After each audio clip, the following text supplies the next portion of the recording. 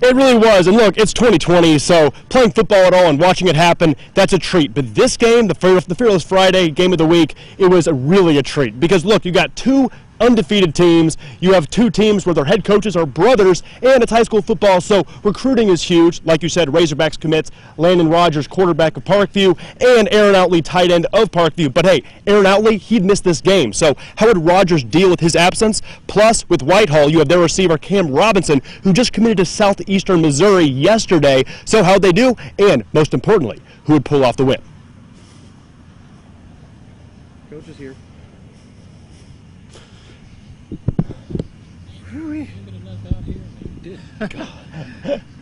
This was like, I heard him say, "Does he have the coach?" And I'm like, "We had the coach 20 minutes ago."